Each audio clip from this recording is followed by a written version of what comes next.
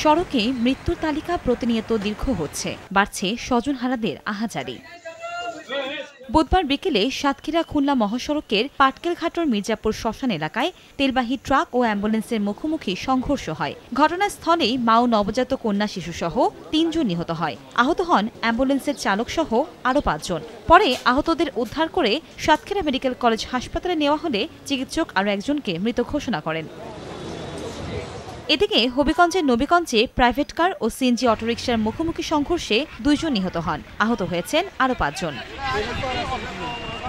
এছাড়া পটুয়াখালীর বগা এলাকায় ট্রলির চাকায় পিষ্ট হয়ে ইয়ামিন নামের এক শিশুর মৃত্যু হয়েছে। কনক আজাদ, সময় সংবাদ।